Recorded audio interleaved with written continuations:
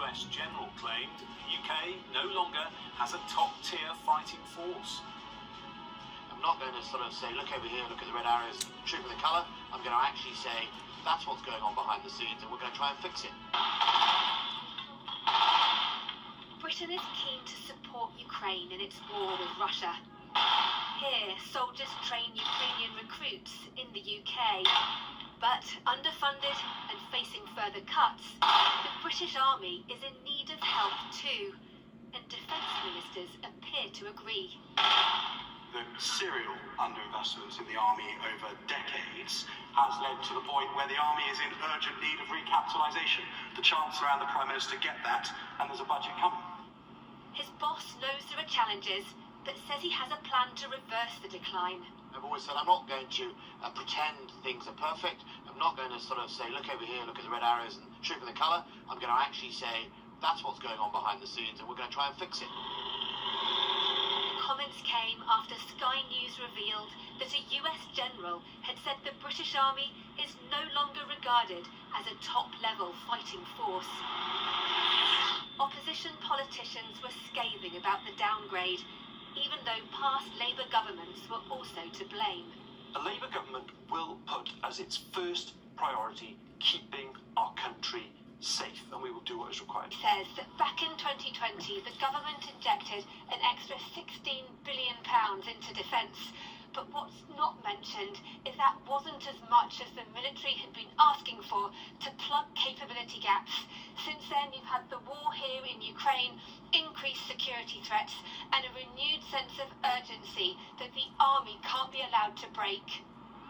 This is really a story of choices. Behind me is the UK's defence spending as a percentage of GDP since the end of the Cold War.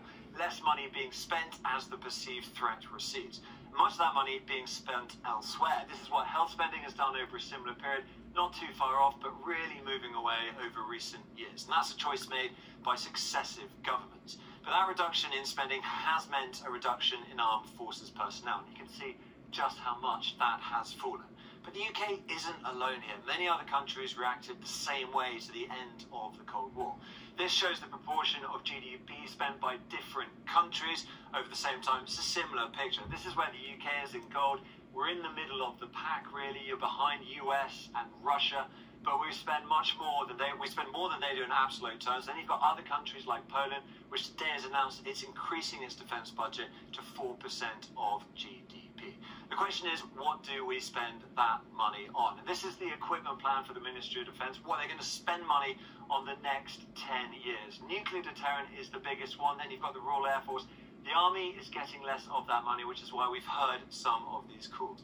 And this comes back to the integrated review, this idea of a global Britain and tilt to the Indo-Pacific. And for that sort of strategy, you need new equipment, best exemplified by the Queen Elizabeth class carriers. Two of them delivered at a huge cost, £6.4 billion to project power across the seas. Now, some experts have said that's putting money in the wrong place. They're expensive sitting ducks for anti-ship missiles. But land-based systems often have a similar problem. Compare those air carriers to the Ajax armoured vehicle. The MOD signed a contract for £5.5 billion for 589 vehicles. Supposed to come into service in 2017, but they had been plagued by technical problems around noise and vibration, and we are still waiting on that. And Ajax is just one, albeit a giant program. The Public Accounts Committee has said the Ministry of Defence's entire procurement program is broken. So there is a lot of money, more than nearly every other country on the planet, and a lot of it is not being spent.